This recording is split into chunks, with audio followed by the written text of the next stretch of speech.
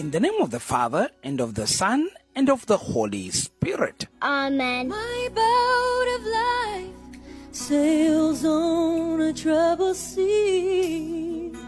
Ever there's a wind in my sail. For our good night message on this Sunday, the 10th of September 2023, broadcasting from the Salesian community of the Sacred Heart in Lusaka, Zambia, by your servant Father Eustace Siame, a Salesian of Don Bosco, we listen to the strengthening and inspiring message in the series Trusting God's Plan in the Battle entitled Crying Out to God.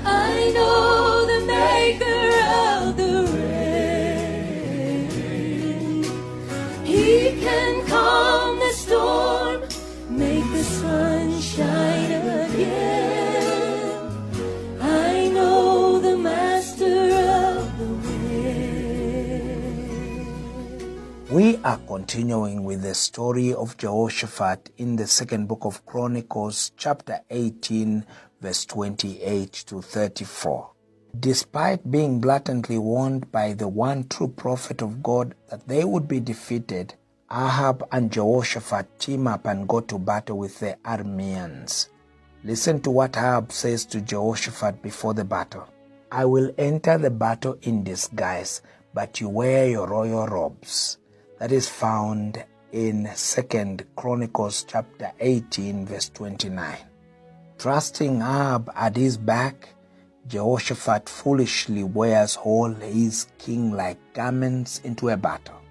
It's like wearing a huge red and white bull's eye on your back or having an enormous neon sign pointing that says, Aim at me, I am the king. Seriously, who does that? Smartly, the king of Aram tells his men to target the king of Israel. The enemy thinks Jehoshaphat is Ahab, so they start attacking him. Realizing he is probably going to die, Jehoshaphat cries out to God.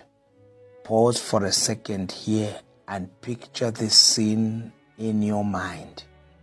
Instead of fighting harder, relying on his own weapons or relying on his men, Jehoshaphat screams out to the one who could actually change his circumstance. This was an act of true desperation. He knew he was about to meet his Maker and he wasn't ready yet. Hearing his cries, God helps Jehoshaphat. God drew them away from him. For when the chariot commanders saw that he was not the king of Israel, they stopped pursuing him. Verse 31 to 32. Did you catch that? After Jehoshaphat cried out to God, his heavenly Father caused his enemies to stop pursuing him. Just like any concerned parent will run to their child when he or she is crying out for them, God cares for his children. Meanwhile, dressed like a common soldier, Ahab thinks he's outwitted everyone. He had convinced Jehoshaphat to dress like him in a battle and was hoping Jehoshaphat would be killed. But a stray arrow strikes Ahab between the sections of his armor. Just like Micaiah had predicted, Ahab died on the battlefield. At the end of the battle, Jehoshaphat barely escapes with his life and the knowledge to seek God first in any situation. Can you imagine the look on Micaiah's face when he heard the news? I would be saying, I told you so. You see what happens? When we learn to consult God in everything, things work out in our lives. Glory be to the Father, and to the Son, and to the Holy Spirit. As it was in the beginning, is now, and ever shall be, world without end. Amen. The Lord be with you, And with your spirit, and may Almighty God bless you, the Father, and the Son, and the Holy Spirit. Amen. Good night, as it dreams. Saying to you, Father,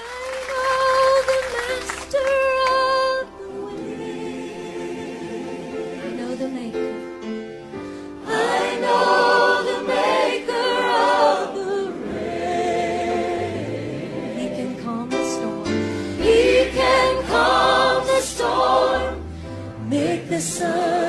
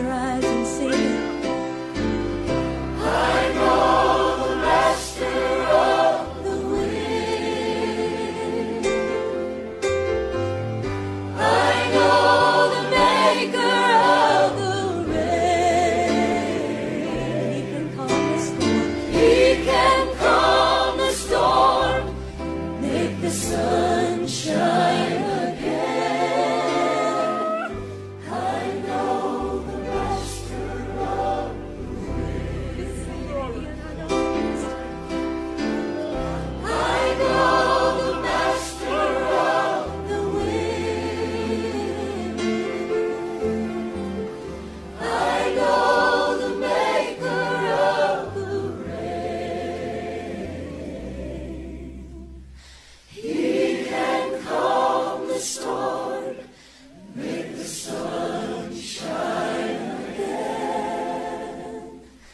I know the master of wind, he can calm the storm.